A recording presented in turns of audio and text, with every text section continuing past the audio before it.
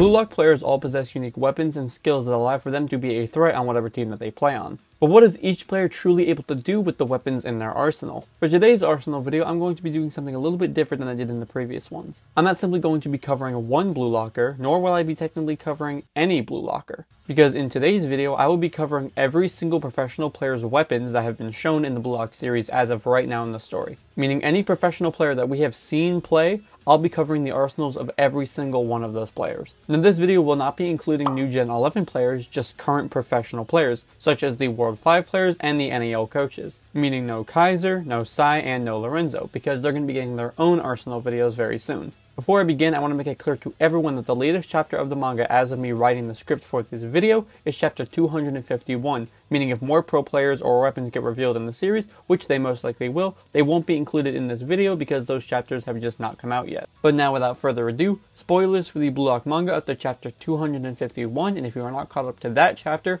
Click off this video now because there will be spoilers. Now it only feels fair to start with the number one player in the world in Blue Lock, that being Noel Noa. Looking at Noa's playstyle and archetype, his playstyle is that of the complete forward. Complete forwards are strikers with great technical ability, clinical finishing, and physical strength, enabling them to fulfill multiple roles on the pitch. They can link up with and play with others, fashion chances for themselves, or finish off team moves by holding up the ball. Now these strikers are best often given the opportunity to play as they wish, without rigid tactical instruction as their versatility allows them to be very fluid on the pitch. Now looking at Noa's weapons, his first core weapon is called Supreme Physicality, first revealed in chapter 165 of the manga. With a supreme and well-balanced physicality as a base and the skill that comes from being completely ambidextrous, Noa is a player that has unlimited options. He can act as a starter for any play, connect with his teammates, and finish off plays with little difficulty even when faced against players on par with his skill level. His next core weapon is called Ambidexterity, also first shown in chapter 165 of the manga. Noa is completely and evenly ambidextrous with his feet, allowing for him to dribble, trap,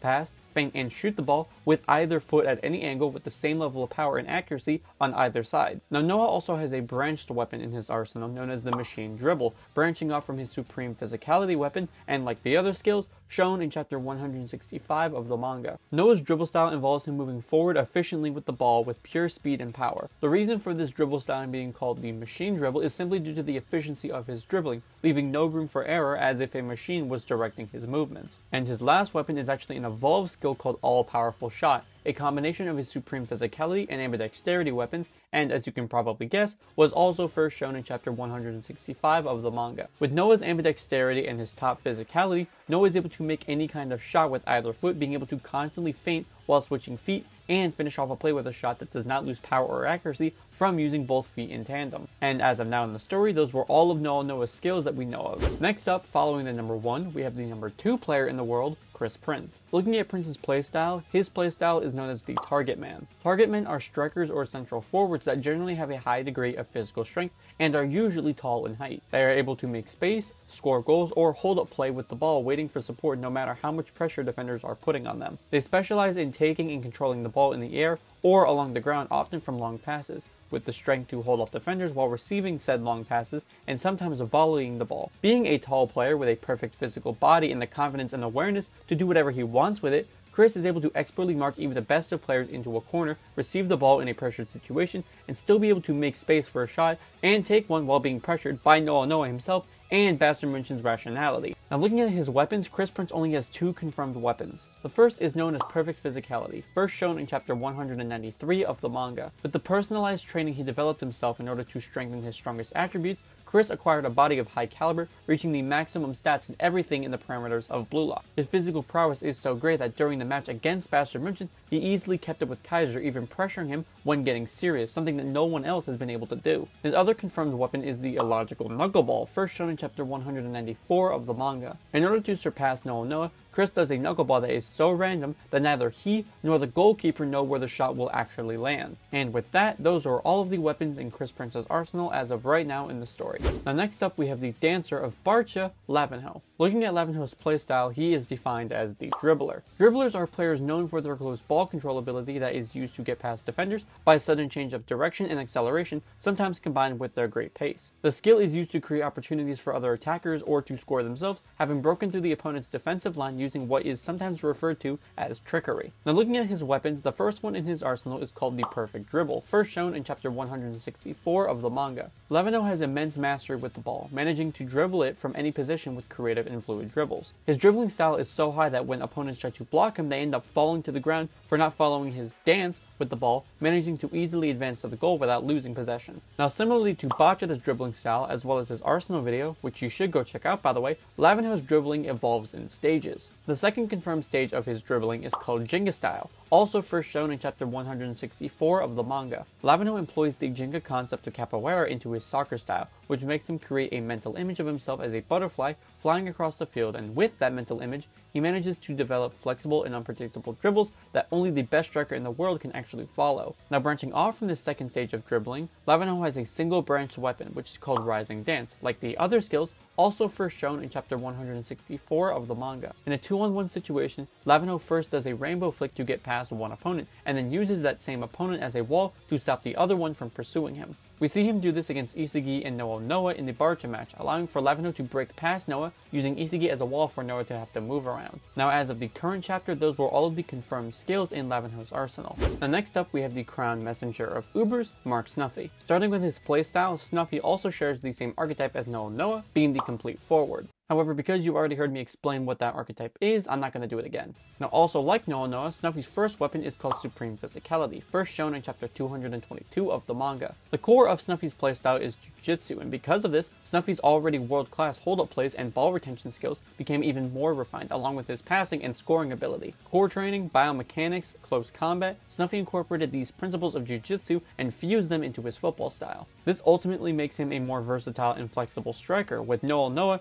even admitting admitting that in terms of overall ability, Snuffy is the best player in the world. The difference between Snuffy's supreme physicality is that Snuffy combines three techniques to create this ability, being physique, ball keeping, and jujitsu. And the other core weapon that Snuffy possesses is Metavision, also first shown in chapter 222 of the manga. Snuffy was able to block and anticipate Isagi's movements. He is also shown to have the Metavision eye design, asserting that rather than Isagi, he was the one controlling the entire game with his playmaking skills. Now it would be fair to assume that Snuffy has awakened Metavision and is conscious of this ability, the same as Kaiser and Isagi, as opposed to Nico or Aiku, who have yet to fully understand what Metavision actually is. But as of right now, those were all of the weapons in Snuffy's arsenal. Now next up we have the Scion of Real Madrid, Leonardo Luna. And because Luna hasn't played enough to get a full explanation as to his playstyle, we don't actually have an applicable title for his playstyle.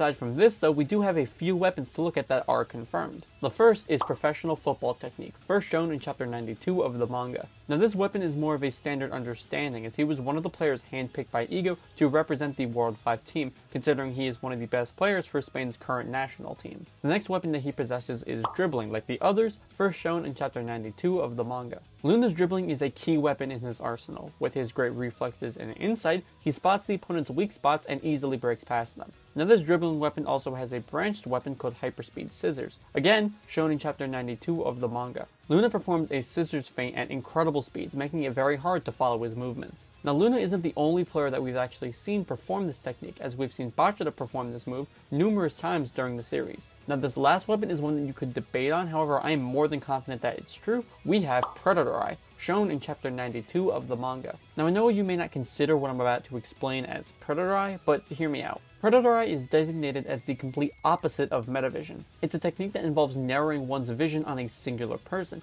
in order to win a 1v1 situation, but waiting for a moment of hesitation or comfortability, allowing for the user to defeat them. We see Barou do this in the NEL, however I would simply say that this was just an application of this ability. The bottom line is that Predator Eye can be used in a 1v1 situation with any player, simply given the description of its ability. Meaning in this situation where Luna nutmegged Lean, he was using Predator Eye in this exact moment. The only reason that he doesn't have the Predator Eye shape is simply because that this action here was the focal point for Predator Eye's creation later in the series. But as of now, those are all of the weapons in Luna's arsenal. Now next up is the heavy tank himself, Dada Silva. Now like Luna, we haven't seen enough of Silva in order to calculate a player archetype, however we do have some confirmed weapons. The first is Superior Physicality, first shown in chapter 91 of the manga. Dada possesses one of the strongest physiques in the World 5 team, managing to pressure the other Blue Lock players with ease. With it, he easily dominated Aryu in a jumping contest by pressing away from the ball while hitting it. His second weapon is called High Jumping Power, also first shown in chapter 91 of the manga. Dada has an enormous jumping ability, managing to stop balls in midair with headers. Combined with his superior physique, he easily overcomes Jubei Aryu, one of the best players in Blue Lock whose specialty is jumping, stealing all the balls he tried to stop during the match. Branching off from this weapon, we have two branch skills. The first is called Jumping Header, first shown in chapter 91 of the manga. Dada jumps to catch a ball launched in the air, performing a headbutt to launch it for a teammate to score a goal. We see Dada Silva use this technique to beat out Aryu in a height battle in order to send a pass to Adam Blake. And his other branch skill is called the Raid Dive Header, also branching off from his high jumping power weapon, first shown in chapter 92 of the manga. Dada jumps and steals the ball from another player who tries to catch the ball in the air, delivering a powerful header to send the ball straight into the goal. And with that, those were all of the confirmed weapons and techniques we have in Dada Silva's arsenal. Next up is Adam Blake, also known as the Goal Junkie. Now what is interesting is that we apparently have no definitive weapons for Adam Blake, nor do we have a confirmed player archetype or playstyle. Looking at his performance though, my guess is that he is a physical based weapon, something akin to Chris Prince's perfect physicality, or even a skill such as solid muscle density, as he was able to easily overpower Tokimitsu during the World 5 match. But yeah, unfortunately we have no confirmed weapons or player archetype for Adam Blake as of right now in the story. But next up we have Argentina's most adorable free kicker, Pablo Cavazos. Now Pablo actually does have some weapons that are confirmed, however like the other World 5 members, no player archetype or confirmed playstyle. For his first weapon, however, Pablo possesses professional football technique, first shown in chapter 91 of the manga. Now there isn't a definitive reason as to whether Pablo's weapon is different than Luna's considering they are the exact same weapon, but I'm going to assume that they are either identical or closely relative to each other. The only other weapon that he is confirmed to have is called Vertical Spinning Shot, first shown in chapter 92 of the manga. Cavazos is able to perform a shot that curves in random directions, targeting at random spots at the goal, and this shot can easily fool the goalkeeper due to the random curves of the ball. Now as of now in the story, those were all of the confirmed weapons in Pablo Cavazos' arsenal. Next up, we have the God Sprinter himself, Julien Loki. Now unlike the other World 5 members, we actually do have a confirmed player archetype and playstyle for Loki, which is known as the counter-attacker. Counter-attackers are any player that uses their pace to beat defenders and cause unexpected scoring opportunities at any time. Another player who shares this archetype is Chigiri, who, like Loki, is also a speedster. Now the first main weapon in Loki's arsenal is called, you guessed it, professional football technique. You probably thought I was going to say speed, right? Wrong. But yeah, anyways, his first weapon is called Professional Football Technique, first shown in chapter 91 of the manga. Loki is considered one of the best strikers in the world, being handpicked by Ego to play as one of the world's select. Despite only being 17, he is already a rising star and is considered a prodigy in the world of football, having been selected for France's national team already and playing professional level football in the French league. His skill was demonstrated in the World 5 match where he was able to easily bypass Team Ren's defense, scoring on them with very little effort. His next weapon is also pretty obvious, being explosive speed, first shown in chapter 90 of the manga. Loki's speed is his defining weapon, being able to explosively take off from a neutral position and reach top speed very quickly. This speed is so devastating that Isagi had no chance to react despite Loki being directly in front of him. In addition to this acceleration, he has the endurance to maintain the speed for an extended duration. Since Loki can angle his dribble, he is almost able to dribble as wide as his stride, which combined with his speed makes him an almost unstoppable opponent. His speed is by far the best in Blue Lock, far surpassing that of Chigiri, Shidou, and Zantetsu as he was able to effortlessly overcome all of Rin's team by himself. Loki also has a branch scale off of this weapon which is called Second Gear Godspeed, first shown in chapter 91 of the manga. And no, not that second gear. But I do find it funny how they both increase speed after using it.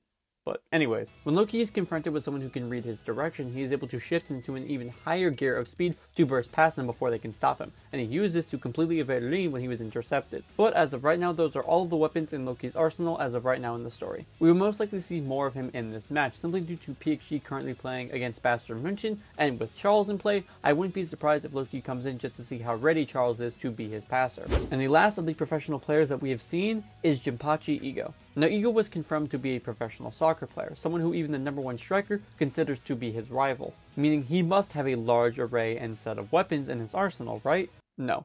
No, he doesn't. As of the current chapters, we have absolutely no idea as to what Ego's playstyle, archetype, or weapons could be. However, we can speculate and I do have a pretty good idea of at least one weapon. Starting off with his playstyle, I believe that he would have the archetype of the Raumdeuter or the Space Investigator. The reason for this is due to Isagi's archetype being the Raumdeuter as well, and Isagi and Ego have shown to have many similarities when relating to soccer. Now, a Raumdeuter's main function is to drift infield and find pockets of space in which to thrive. They are essentially players who locate dangerous areas on the pitch and use the unoccupied space to create confusion amongst the opposing backline. Now, for a weapon that he most likely possessed, I'm more than confident to say that Ego has Metavision, and this is essentially confirmed in chapter 204 of the manga. When Isagi is explaining the concept of Metavision to Noel Noa, he says says that he has heard this concept before, specifically from Ego. And way back in chapter 26 of the manga, Ego explains to Isagi the formula for a goal. And during this explanation, we see this grid-like pattern appear around the pitch, with the gridded avatars and pop-ups of the character appearing in Isagi's vision. This is exactly how Metavision is shown later on in the series. Now you could argue that this is simply Isagi envisioning this and subconsciously interpreting Metavision,